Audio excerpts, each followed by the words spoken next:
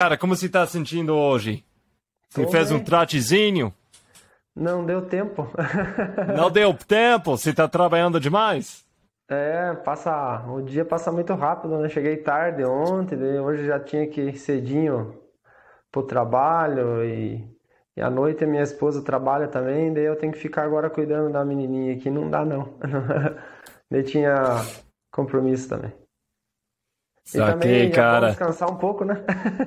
é, não, tem que fazer. Eu acordei hoje e fui tipo, vou correr. Ah, não, eu não vou correr de jeito nenhum. É. Eu, eu, eu comecei a sair a porta, foi tipo, não, eu vou... não hoje não vai não rolar. Precisa. Eu fiz um alongamento só. Cara, parabéns. E. para começar, eu, eu quero entender. Então, 2019 você colocou a recorde dessa prova em 80 quilômetros foi uma, uma prova sensacional, mas agora isso foi que quatro anos atrás. 2022 eu não, uh, não foi, tipo, eu sei, você foi segundo lugar, você fez uma prova espetacular, mas eu sei, você passa um pouquinho mal, eu, e, e que foi a grande coisa diferente entre 2022 e 2023 e como, que você aprendeu em 2022 que você levou com você em 2023? É, 2022 eu imaginei que estava bem preparado e já na largada, não sei o que aconteceu, que meu corpo não respondeu ali já lá nos primeiros 4 quilômetros ali eu senti demais. Daí eu resolvi já na hora diminuir o ritmo para não para não ficar prejudicado, né? Mais ainda, né? Por mais que eu, eu cheguei a, a, estar entre os 10 ali, acho que até o quilômetro 20, 25 ali. Daí Foi 25, na verdade. Eu lembrei claramente, eu passei você com 25, tipo, eu, eu, foi, tipo, eu achei que foi fantasma, mas isso não faz sentido. É. E, até eu, eu parei, foi tipo, cara, você tá boa. Uhum. É, você eu... não tava certo, não. Não, não tava muito bom. Daí eu consegui dar um de, de repente, meu corpo respondeu ali numa trilha, naquela trilha ali, que era o quilômetro 25, acho que mais ou menos, até uhum. quase o 30. Daí eu consegui recuperar todas as posições novamente e cheguei a ficar seis minutos do selinho de volta. E... É, não, foi incrível. Eu, eu quero falar o seguinte: eu tenho uma ideia com essa, Cleverson, desculpa. Uhum. Eu vou falar, chega no ponto que eu passei você.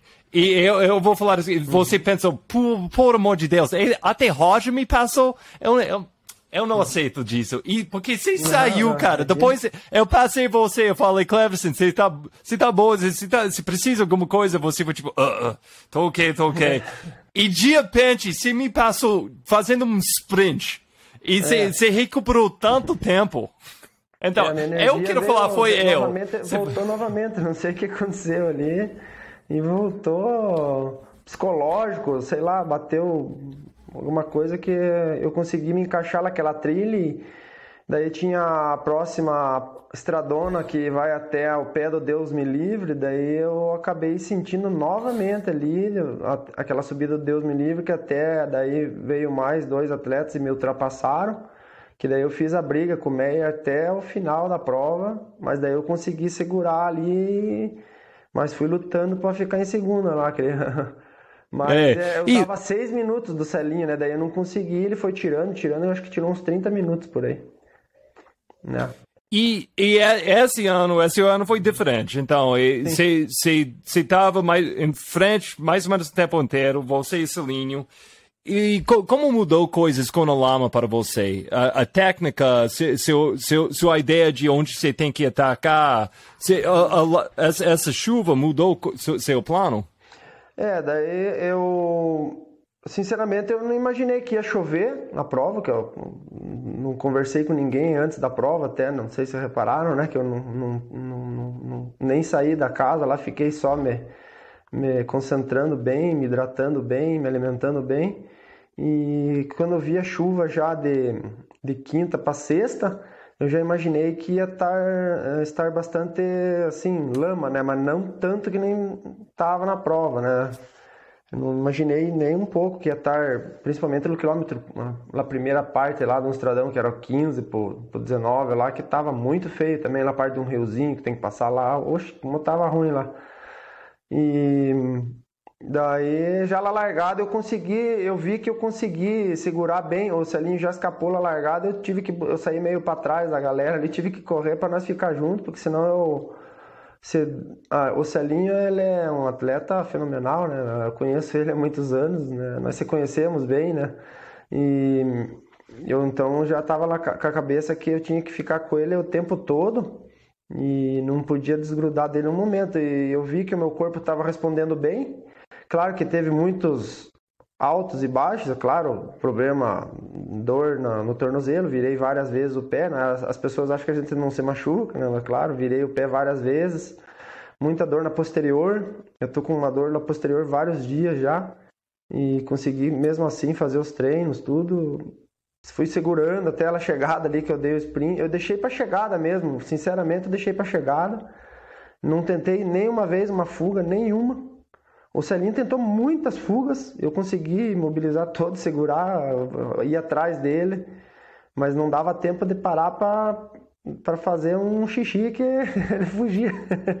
então é complicado, né? mas eu tive que fazer um, uma prova bem concentradinho, no, sem tirar atenção um momento dele que ele, ele não desgrudava. Claro que eu também puxei alguns momentos, mas é, nós dois tivemos altos e baixos, né? Mas é o ritmo que a gente imprimiu foi muito bom, até nós ficamos bem contentes. Eu ficava cuidando muito do pace, sabia do, dos locais, mais ou menos a quilometragem, a, o tempo que dava, o pace, quanto que tinha que recuperar do pace depois das trilhas, tudo. E deu certinho o meu cálculo que eu tinha feito. Eu tinha calculado para 9,40, deu menos um pouquinho. Mas é, a, a questão da lama, depois que a gente correu na parte técnica, eu acho que é uma facilidade nossa, né? A gente tem um pouco mais de facilidade de correr na parte técnica com lama. Eu, Celinho, muitos atletas gostam de lama, né? O Rogério também gosta bastante de parte bem difícil, assim. Claro que a gente fala que se tivesse seco, talvez abaixasse mais o tempo, mas agora a gente não. Falando é uma coisa, às vezes na prova o cara quebrava, daí, né? Acabava dando um problema ali, acontecendo que no passado, daí, né? Cada momento da prova a gente não, não tem, é só na hora mesmo. Não tem como o cara ficar falando vai dar tudo certo. Pode mudar tudo a qualquer momento.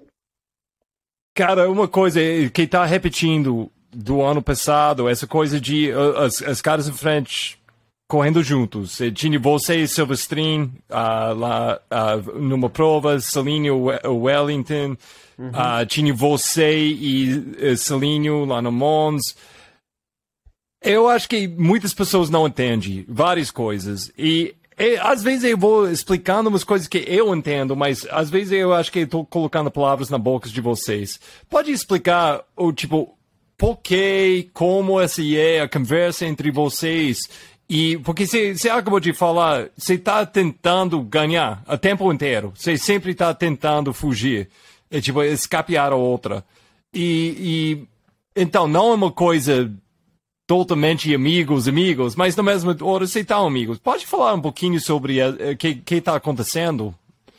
É, tem, tem momentos que a gente está bem ofegante que dá para reparar que o atleta tá dando ou ele ou eu, a gente tá dando uma puxada mais forte, que está se sentindo melhor e a gente percebe que o atleta que está atrás está tendo um pouquinho de dificuldade e daí a gente já não consegue nem conversar mais, né?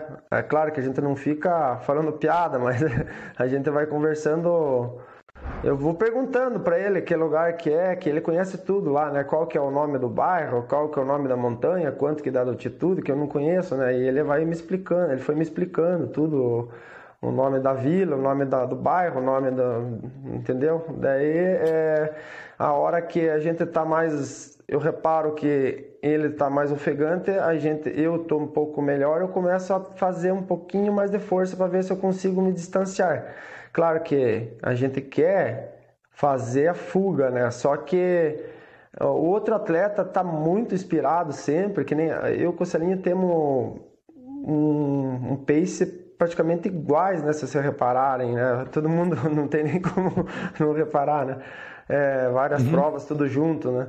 Mas é, eu acho que o, o atleta, mesmo estando cansado atrás, dificuldade, ele tira uma força do além ali que consegue voltar. Eu fiz várias, várias buscas atrás do Celinho e consegui recuperar de volta, ficar atrás dele. Daí recuperar o fôlego de volta, voltar ao cardio, daí para conseguir equilibrar de volta. Não é fácil, viu? Para conseguir manter um ritmo mesmo em momentos que você está com dificuldade, eu tive muitos problemas também de, de cólica, essas coisas, foi complicada a prova. Não foi. Mas fácil, vamos supor, você está né? entrando no PC, é, tipo, para uh, uh, encher a garrafa e tudo assim. Você fala junto, tipo, você tenta sair ju juntos de propósito? Ou você está tentando sair antes dele? É, a gente, eu, na verdade, ele tentou sair vários pontos, saiu uns três pontos mais rápidos que eu, deixou para trás vários metros, mais de 200, 300 metros, eu consegui buscar novamente ele. Mas eu não consegui dar nenhuma fuga, assim, de, de fugir do pace, do, do, do PA, né? Mas a gente chegava em todos os PA juntos, se hidratava certinho e é, mais de 80% do PA a gente saía tudo junto certinho. Agora tem que falar bonitinho, senão. Né? Agora ele chegou, a gente tava falando mal dela e agora ele chegou, meu Deus. Solinho, tudo bem, cara? Eu tava escondido ouvindo. Ah, meu Deus. Ele ouviu o nome dela e ele apareceu assim, meu Deus. Celine, parabéns, cara. A gente tava falando essa coisa de correr junto, né? Oh, ele saiu rápido, ele não gostou. É, ah, não eu, eu, não, eu não sei com, com a internet dele. Tomara que ele vai voltar, mas se ah, não, é, fanta... Uhum. É, tomara que ele dá, vai dar para ele voltar. Mas uhum. fantasma, eu, eu, eu tenho que perguntar. Oh, ele está voltando de novo. Celinho, tudo bem? Aqui, é... a, a gente. Pode falar. Me ouvem? Estão me ouvindo? Tô ouvindo, tô ouvindo. Pode falar. Eu tô sem, eu tô sem fone de ouvido. Não, ele tá, saiu de novo. Tá, tá caindo a internet tá caindo aí, mas tá bom. E tomara que vai dar para ele, ele entrar aqui de novo. O Fantasma, aqui, chegando lá no fim, você tava. O vídeo que Valmir colocou é um vídeo fantástico. Até eu vi você Sim. colocou na sua Instagram hoje. Mas, cara, você tá indo e você tá olhando atrás como se fosse um filme de terror. Tipo, e a, a cara com. A, a cara com a a, o, a motosserra está atrás de você. É, que... Quem você estava pens... pensando nesse momento? É, na verdade, do ano passado eu consegui acabar os 3, 4 quilômetros finais bem melhor que esse ano. Esse ano tá, é claro que o ritmo meu estava bem mais. A gente fez a prova mais rápido que ano passado, mas ano passado estava chovendo também o final, não sei se vocês se lembram, né? E daí eu como ele andava ali no finalzinho, eu não conseguia também correr também ali, eu estava deixando para o último momento, né? Eu ia deixar, sinceramente, para os últimos 50 metros ali para fazer um sprint.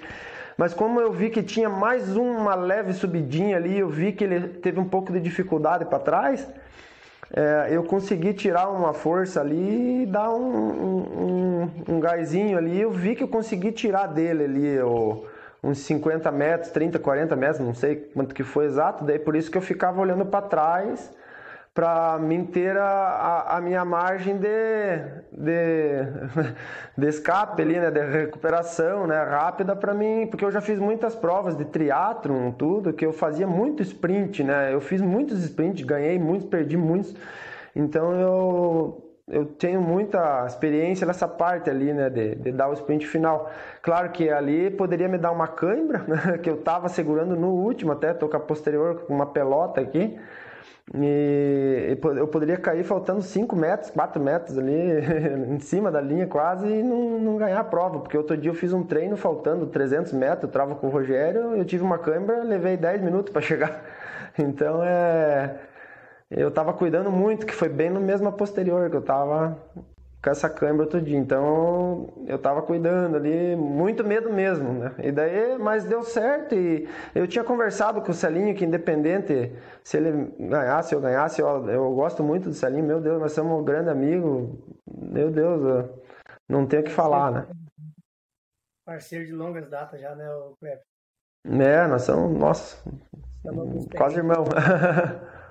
irmão, né?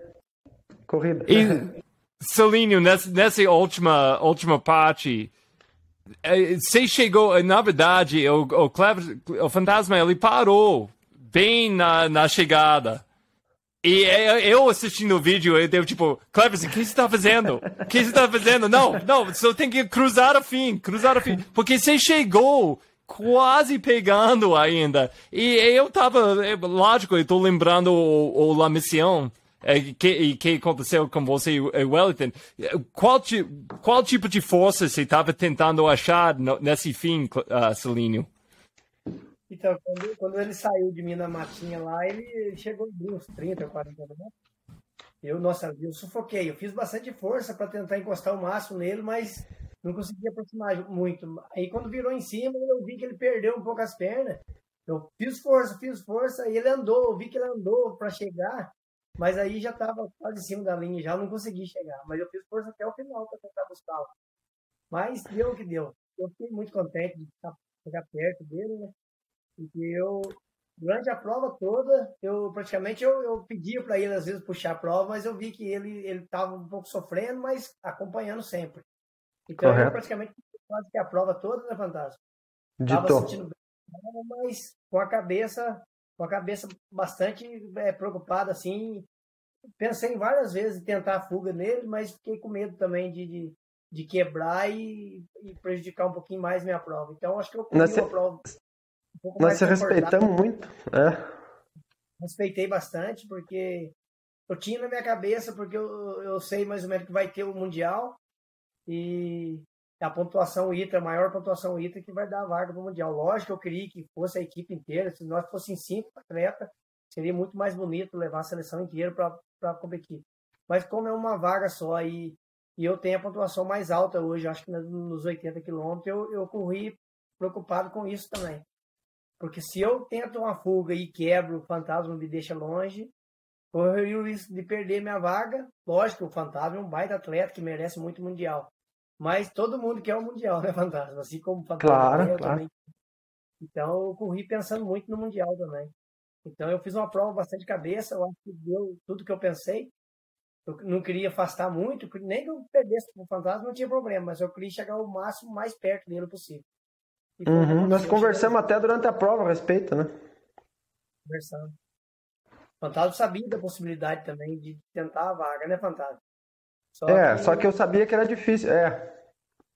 E era quem arriscasse correria o risco de, de, talvez quebrar no meio e o outro deixar meio longe. Então, é. quem arriscasse no meio ali e desse errado poderia colocar tudo a perder.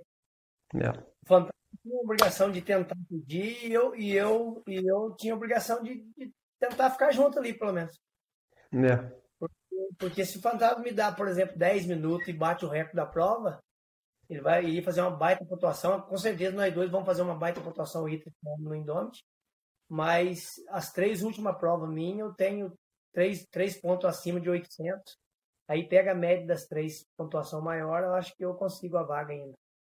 Eu acho. Vamos esperar o que, que vai acontecer. E, e, vamos ver, porque se não me engano, lá na, na missão, eh, no fim, Itra, Itra deu a mesma pontuação para você e Wellington, né?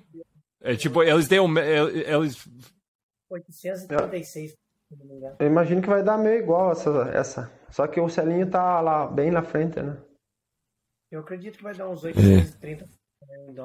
pelo tempo que a gente. Isso Celinho, você conhece todas as pedras dessa trilha do, do 80K da, da Indomity? Uh, então, você estava você tava assistindo eh, o tempo sabendo que você estava perto com a, o Hackard?